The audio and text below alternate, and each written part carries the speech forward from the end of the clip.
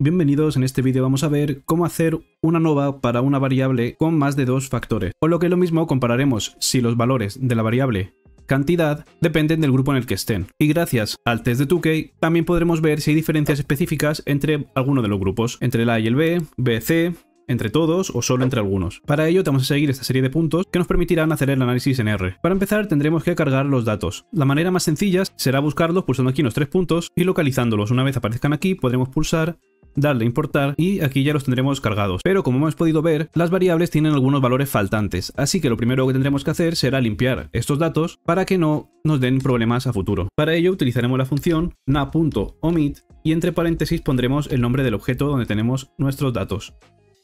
Y le volvemos a dar el mismo nombre para que nos lo borre. Y como veis hemos pasado de 150 observaciones a 147 pero ya no tenemos ninguna con valores vacíos. El siguiente punto, muy importante antes de empezar un estudio de este tipo, será ver gráficamente los datos, para poder saber qué esperar una vez hagamos los análisis y también entender fácilmente si lo que hacemos tiene sentido o no. Para ello, la mejor gráfica que podemos utilizar serán un boxplot, en el que solo tendremos que darle la variable numérica, que recordemos se llama cantidad, en función del grupo, y le indicamos que estos datos vienen del objeto dato. Con esto ya tendremos aquí un boxplot de las tres variables. Podemos, para hacerlo más intuitivo, darle un color a cada una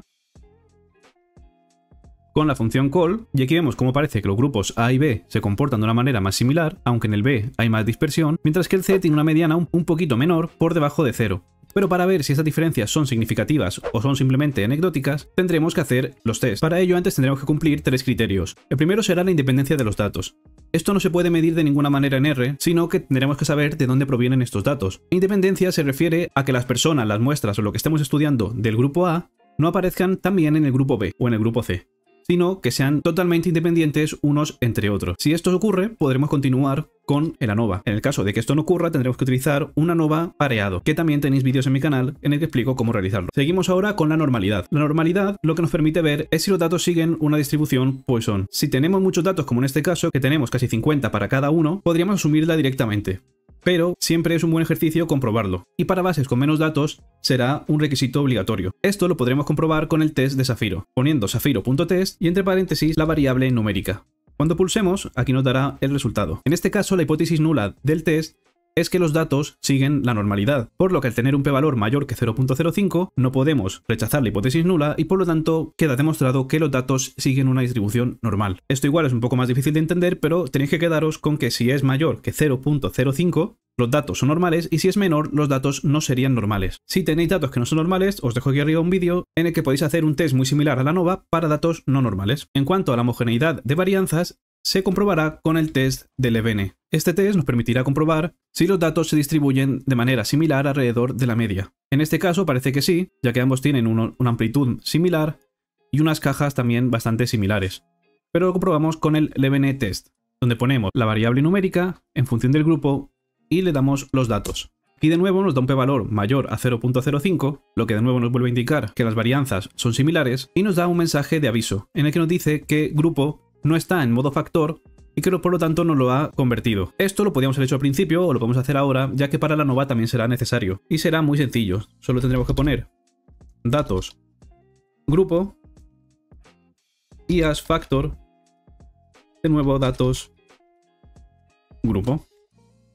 De esta manera, la variable grupo se habrá convertido en un factor de tres niveles, A, B y C, y si volvemos a repetir el test del EBN, veremos que el resultado es el mismo, pero ya no nos da este aviso. Podemos pasar, por tanto, al tener independencia, normalidad y homogeneidad, a realizar el ANOVA. El ANOVA requerirá que lo guardemos en un objeto para poder luego ver los resultados. Yo a este objeto le voy a llamar modelo ANOVA y con la función A o podremos realizar el test. Esta función se rellenará de la misma manera que el EBN, por lo que podemos copiarlo dándole la variable numérica en función del grupo. Cuando pulsemos, el ANOVA se habrá guardado dentro del modelo. Y para verlo, utilizaremos la función summary. Le damos el objeto con el ANOVA y aquí tenemos el resultado. Para casi cualquier estudio que estéis realizando, lo más importante será este valor que pone aquí, PR mayor que F, que es el p-valor, en el que un p-valor mayor a 0.05 significará que no hay diferencias entre los grupos, mientras que un p-valor menor a 0.05 sí que indicará diferencias. El nuestro es mayor,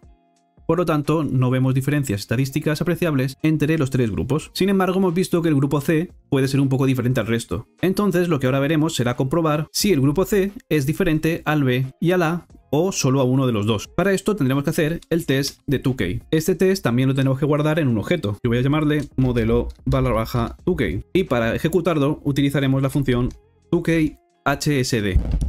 Y esta vez, en lugar de darle la misma estructura que hemos seguido antes, le daremos directamente el modelo ANOVA guardado en el objeto. Ejecutamos para que lo guarde y lo podremos ver simplemente imprimiéndolo. Modelo 2K. Aquí tenemos los resultados, como vemos nos da la comparativa grupo a grupo y nos da tanto la diferencia que hay entre sus medianas como el intervalo de confianza al 95% y el p-valor ajustado. Este p-valor será el que nos indique si hay diferencias entre esos grupos. Entre el B y A es mayor que 0.05, por lo tanto no hay diferencias. Entre el C y el A tampoco, y entre el C y el B tampoco. Por lo que en estos datos no podremos afirmar que la cantidad dependa del grupo, sino que será igual en todos. Vamos a poner ahora un ejemplo donde sí que haya diferencias para que podáis ver la gráfica de 2K y el sentido que tiene.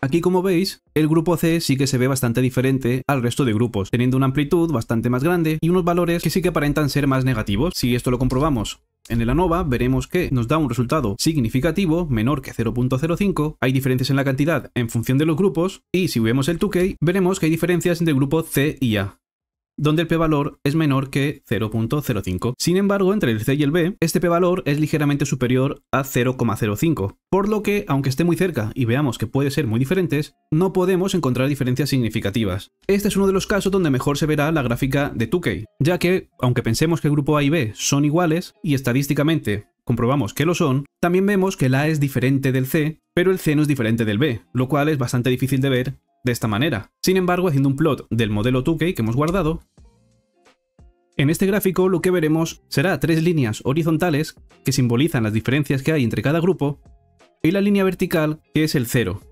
Es decir, si tenemos cero diferencias entre dos grupos, esos grupos serán iguales. Por lo que entre el B y el A vemos que la línea horizontal toca la vertical, igual que entre el C y el B pero entre el C y el A nos toca esta línea, por lo que estos grupos son diferentes.